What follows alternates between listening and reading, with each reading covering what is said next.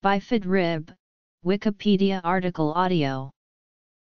A bifid rib is a congenital abnormality of the rib cage and associated muscles and nerves which occurs in about 1.2% of humans. Bifid ribs occur in up to 8.4% of Samoans. The sternal end of the rib is cleaved into two. It is usually unilateral. Bifid ribs are usually asymptomatic, and are often discovered incidentally by chest X-ray.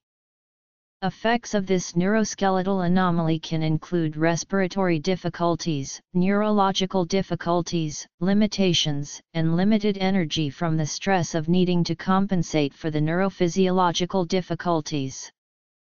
Another association is with odontogenic keratocysts of the jaw which may behave aggressively and have a high propensity to recur when treated with simple enucleation and curettage. When seen together, the patient is likely to have nevoid basal cell carcinoma syndrome and should be evaluated with this in mind.